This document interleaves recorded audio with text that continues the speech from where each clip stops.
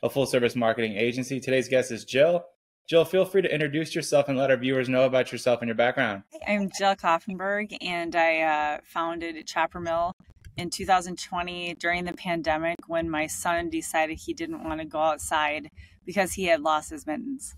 And so uh, that was where my entrepreneurial journey started in e commerce. And uh, it's been a wild ride since. But um, yeah, it's just been really fun. We're based out of Stillwater, Minnesota. I tested my own product in the forests of uh, my own kids' school and uh, excited to share more about that with you guys. Awesome. Well, tell me about the brand and the products. So Chopper Mill was designed um, basically to solve the problem of a lot of the uh, holes. So because I'm in Minnesota, obviously we get like negative 40 winters. Mm-hmm. And so a lot of times I would find that the product just wasn't like quite matching up, whether it was the angle of the cuff going over the sleeve for the child. So you don't get the, the nice snowpack between your wrist and your uh, on your arm it, or if it was like the level of materials where you couldn't have a dexterous mitten so they can't actually grab like snowballs or they can't grab sticks so the, all three of my kids when i designed the product they were going to um, uh, outdoor school in marine on st croix minnesota and so i thought you know what every time they go outside. So what they do is they go two recesses a day outside and they also like walk outside in between their classes. And then if they're doing let's say like math, they would take like the branches on a tree and then do multiplication that way, right? So every time it's application based. So what better way to test a product in the winter than to put these on my kids during these all basically outside all the time and see how they perform. And so every day my kids would come home I'd ask them what was wrong with them, what didn't they like, etc. And then now I've come up with this product, which is Chopper Mill Mittens, which I believe is the best mitten product on. I mean, I really do believe it's the best one on the market. Um, and also, what is unique about our brand is because my son lost his mittens, um, we actually give you one free if you lose one. So it's our signature repair plan. And if you lose another one, you can actually just buy a single because I don't like to be so wasteful with clothing and products generally. And so I thought, wouldn't it be nice if you could just know that, hey, my kid's about to outgrow their next size next year, and I only need to buy one now, but I'm not going to sacrifice the quality of the mitten. I can still buy a nice premium mitten without having to like worry if my kid's hands are going to get frostbite. Awesome. That's uh that's an amazing story. Awesome. Thanks.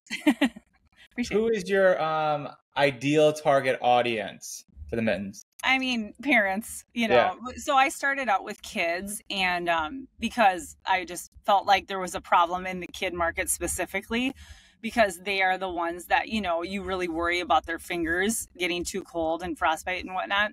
So, mm-hmm. um, parents are number one. But I will say, so after our first winter in 2021, um, I had all these people like coming to me and they're like, why don't you make adults? I lose my mittens too. Like, I want the same like kind of warranty. And so in my second winter this last year, I ended up um, developing adult versions. And so now, I mean, honestly, like I have just as many, you know, 20 year olds buying from me as I do parents. So I think that it just resonates with a lot of people that it's nice to have, you know, a guarantee. And then also Chopper Mill um, last year actually i started a foundation i'm going to give 20% of my profits into this foundation so that we can actually turn around and distribute mittens to um, nonprofits in need so there's a huge huge uh, space actually in all of like if you live in a northern climate basically a lot of times these families will come in um, you know and get their allocation of like free clothing and whatnot but often the mittens, there's only like one pair to give to one family. There isn't mm-hmm. enough to go around. And so I thought, you know what, that's such a good direct tie to give back. So so I'm super excited because like we're now just getting kind of rolling into like all this foundational things that I believe in.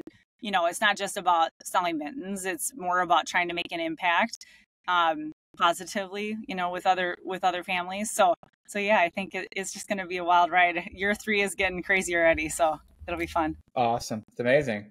So you're in a very competitive space. You touched on this briefly, mm-hmm. what makes you better than your competitors? Well, I mean, number one, our our product quality. Um, so we have 3M Thinsulate, we have goat leather, We have Cordura Performance Fabric. I mean, all the different things that you need to make an excellent mitten. There's a lot of people that I don't really think it's like the focus of their brand per se, but this is all I do. Like this is all I care about. Yeah. And so I just want to be known for mittens, right? I don't care really about anything else.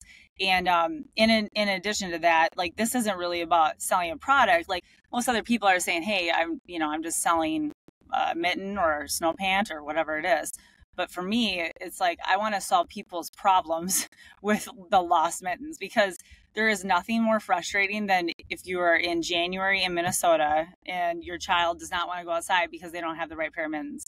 I actually have a friend of mine who um, bought the mittens, and her kid has never worn mittens because she is sensory, like, you know, she has sensory issues with like different uh, materials and my mittens are the only ones that she'll wear. And so, and I'm very proud of that. And she was like, "Yeah, we we've never been able to get her to go outside, and like it's just one of those things where you want to solve that problem for the families because kids need to be active, right?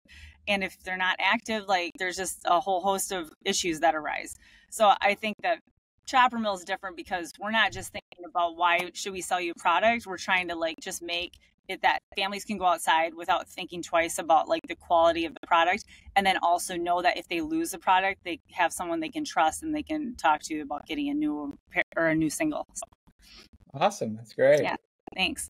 What are your best selling mittens? Um it's a it's kind of a divide between the the white color snow we call it and then the natural tan color but you know i mean mostly i would say the kids coming out the gates, obviously that's all we had. But the reason why mm-hmm. parents love the kids is I have on the cuff a Velcro patch which has their name. So oh, what also is very nice is that first off, kids love seeing their name on stuff. Um, yeah. You know, or their initials or whatever. So they get to pick like whatever color of patch they want. We have like five different ones to choose from and then they can put their name on there and then also the parent can actually take off the velcro and then just buy a patch from me. They don't need to buy new mittens and put a new patch on when they hand it down to the next kid. Because right. again, like our, we're not thinking about like trying to just keep selling you products. We're trying to think about okay, how can we just make this product last a little bit longer so that you know you can actually have a good quality mitten so your kid can get outside. And so we just want to be like that focal point of like, hey, I don't need to worry about mittens anymore. I just go to Chopper Mill and like I'm just set. You know. Definitely, it's amazing. What's your uh, future plan for yourself and the brand? I mean, I'm just gonna keep on. You know, my goal is to like eh, honestly, like my the person that I would say that I would be striving to emulate would be Yvon Chouinard of Patagonia. I mean, what mm-hmm. he's done with giving back is like, you know, phenomenal. And um, if I could do even a, you know, 0.0005 version of what that is, I would be very happy with uh, what I'm trying to do. So, yeah, I, I think uh, you know, it for me, it checks the boxes of trying to set a good example of my kids of like, hey, you know, mom, mom can do stuff too. Um, but then also, you know, you want to. I, I love you know business and I love capitalism, but I also love to give back and I love to like inspire kids. So I think if I can just check those three, you know, and say like, hey, I did my best and I feel like we're giving back. Um, you know, it, it's the most fun I've ever had. I'm not, I don't feel like I'm working. It's just constantly trying to figure out, you know, how do we, how do we sell more mittens so we drive down the cost so we can get more profitable so we can give back to the kids. So it's just kind of this fun like matrix right now. And I, I think, uh, yeah, I think we're well poised for year three. Great. So, being an entrepreneur and starting a brand like this, I'm sure you've had a few of these. What are some challenges that you face and how did you overcome them? Well, I have a really fun one. Uh, the first year, I was um, expecting that I was going to be selling commercially that year. And um, of course, because of the pandemic, I don't know if you recall, but the shipping situation was absolutely yeah. like insane. So my mittens actually didn't make it. so. Wow. So we missed our first year. So technically, I should be going into my fourth year, but I'm not. Uh, and so anyways so in the meantime i thought okay what can i do while i'm waiting you know for next winter um, and i thought you know what would be kind of cool since we're like a kids company uh, when we started, I thought, you know, I always have loved giving books uh, to to families. Like if I have a friend like doing a baby shower, and I really think like these can be cute baby shower gifts because you can put the name on them and that kind of thing. So I was like, oh, I should include a book. Well, long story short, I couldn't find a winter book that I was super thrilled about, and so. Um, my kids had always made up this story of where like all the lost mittens would go, which they call it the mitten thief. And so mm-hmm. I ended up writing a book. So uh, I'm a published author, author, so it was a good, happy accident that my mittens never came, and um, ended up writing the book. And it's just a really fun kids book that I I also sell on the website. But yeah, it's that w- that is why I have a book. I wouldn't have that book without uh, the shipping delays of the pandemic. So thanks, pandemic. Amazing, great. where yeah. um where where are you selling? Is it just the site, or are you, are you in retail? Um, so we uh so the first two years we've just been doing online on choppermill.com but uh, this year we're actually going to be expanding to retail and uh, amazon etsy and some other areas so yeah yeah we're going full steam ahead. Great. What's what's been the most successful way to promote the brand? You know honestly it's kind of interesting. Um you know i've i've dabbled in about everything now uh after a couple years and I would say the most successful has been just this army of moms and dads that like honestly I I don't pay them. They literally on their own will just post their passion for the product and I feel like that word of mouth has been like the most powerful tool that I've had. Um, you know, it's it's just always so you know, as an entrepreneur, when you have like basically no budget, right? Like if you see yeah. somebody post about your product, it, you're like psyched. You're like high fiving yourself. so, yeah. so you know that is uh that's been really like just amazing that people are like just kind and doing it just out of the goodness of their hearts. So it's great. It is.